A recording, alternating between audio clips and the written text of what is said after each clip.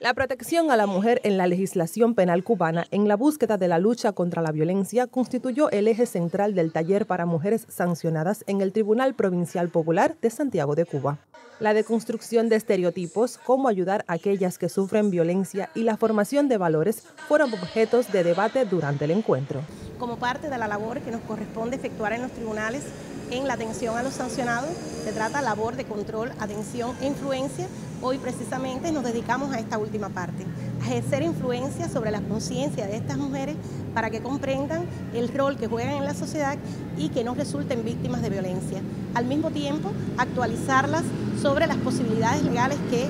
eh, nos proveen nuestras normas penales para ejercitar sus derechos. El código una de las normas de la legislación penal ofrece un grupo de circunstancias de adecuación, ofrece el tratamiento diferenciado a 22 figuras delictivas en los que la mujer es víctima de estos hechos, agresión sexual, acoso, amenaza, coacción, violación de domicilio, que evidentemente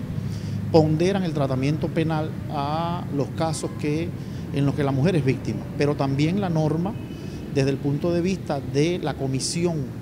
delictiva por una mujer ofrece el tratamiento diferenciado siempre y cuando la mujer haya estado sujeta a una situación de estrés en el ámbito de la comisión del delito, a violencia de género o intrafamiliar,